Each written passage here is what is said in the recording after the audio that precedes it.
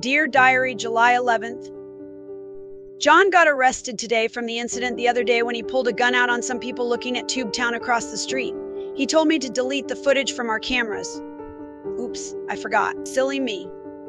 The sheriffs came with a search warrant and took the camera footage with them.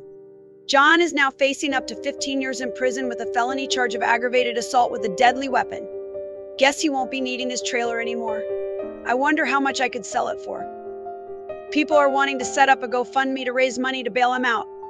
I said no. Finally, I have gotten rid of him. I'm sure he will find new love in jail. He has always been that way inclined.